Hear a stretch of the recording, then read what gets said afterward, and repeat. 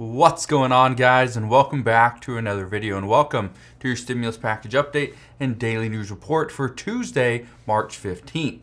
Now, we do have some good news and I want to address the good news in just a minute, but here's what we're going to discuss in today's video. We're going to discuss a little bit of the stimulus package, what we could see.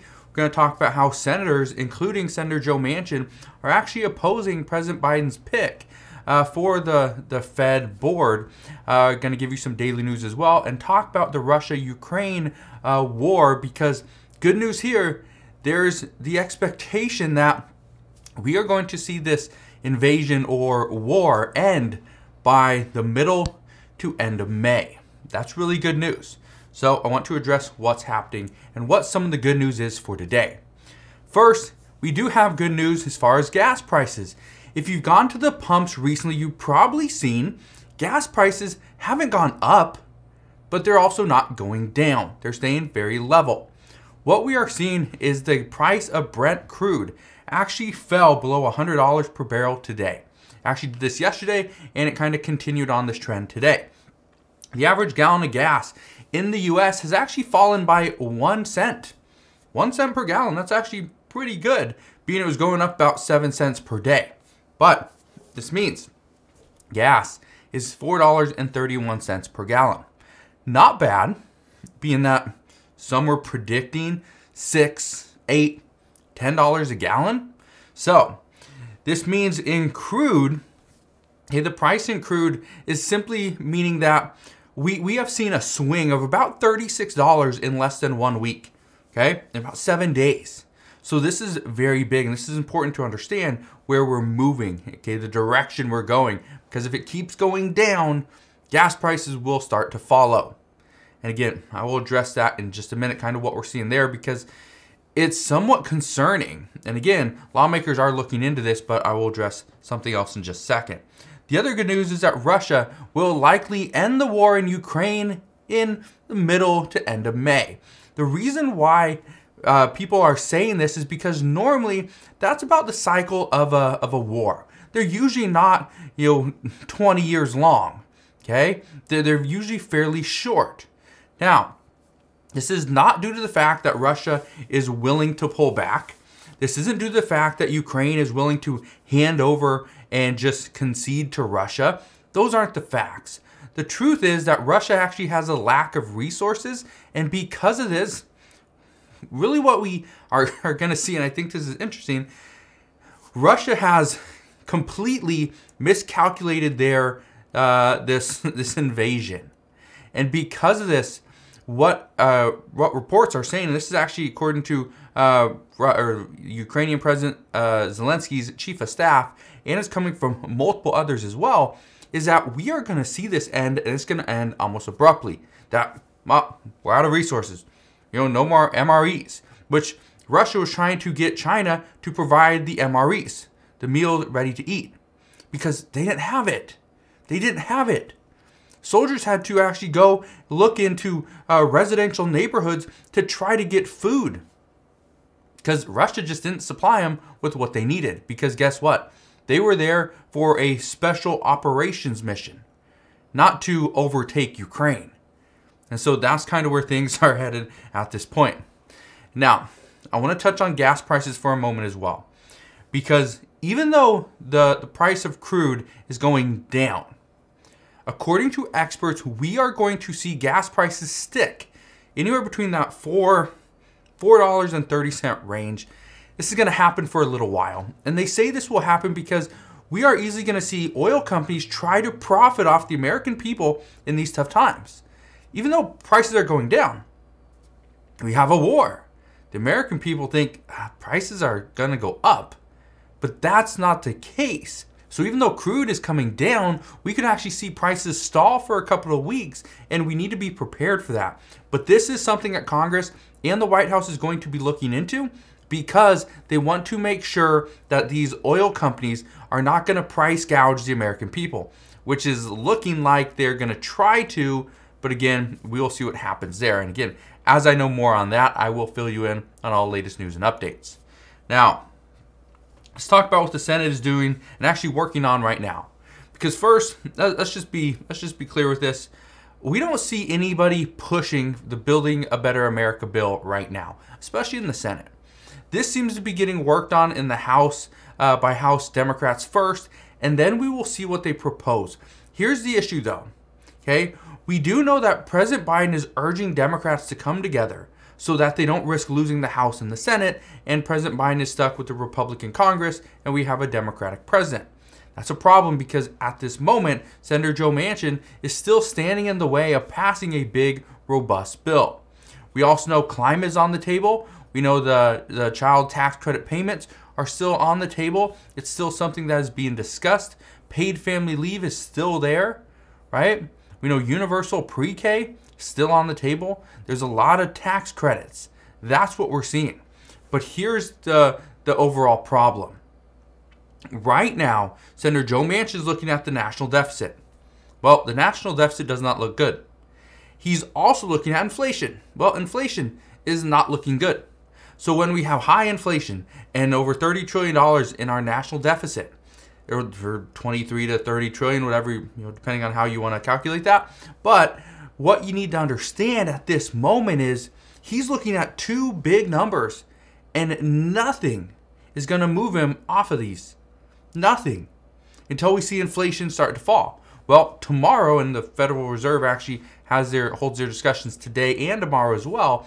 But tomorrow they're going to give us uh, a rundown of what they discussed and kind of what was talked about. Well, this is going to be very interesting news. We're expecting a, uh, a quarter point rate hike. That's what everybody's expecting. So if it's anything different, well, we'll see what happens and see what the market does and how they react then. But according to Senator Joe Manchin, we have to see inflation pull back. It has to come down before we start, you know, passing out additional stimulus to the American people and really providing for our economy.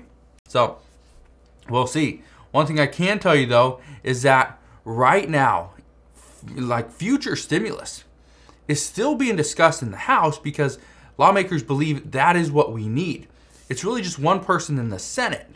Okay, so if if uh, you really think you need or we need additional stimulus, one of the things that that Democrats are going to do is try to push and try to get the American voters to vote Democrat uh, in the upcoming midterm elections. Because, and again, this is the the kind of narrative that we're going to see is that if we have more uh, Senate Democrats, then we can get through these different provisions through a budget reconciliation. But right now, with a 50 50 Senate, you know, 50 Democrats, 50 Republicans, then we got uh, 51 as uh, uh, Vice President Kamala Harris should be the tie breaking vote. What you need to understand is if there's 51 or 52 or even 53 Senate Democrats, they could get this thing through, but there's not.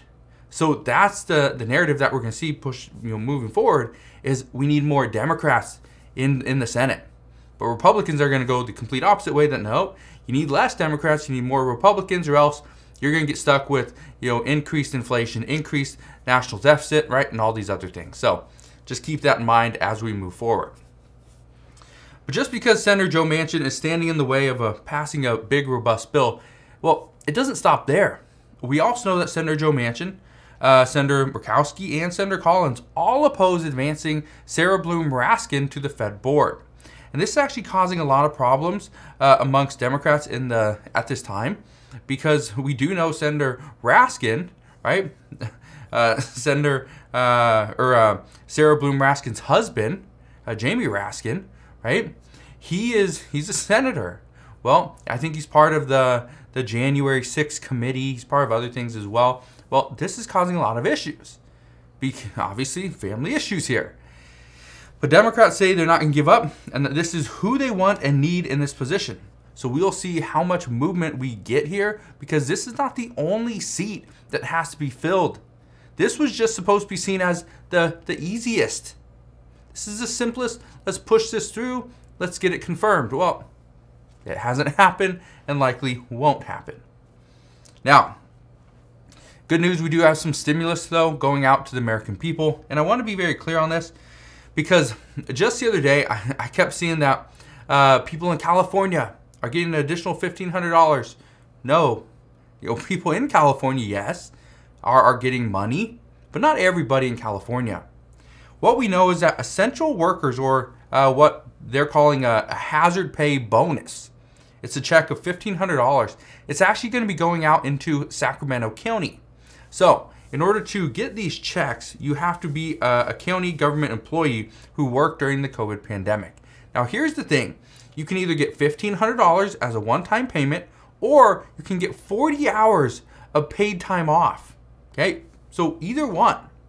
Now, it really depends on how many hours you worked and everything like that, but good news is you can kind of choose. So, uh, we'll see what happens there. But the reason I bring this up, because I know there's not, I probably don't have an overwhelming amount of people that you know are watching the channel from Sacramento County. If you are, let me know down in the comment section below. But the reason I bring this up is because I've said this before. More and more cities, counties, and states are going to provide assistance to their residents, but this is going to take some time.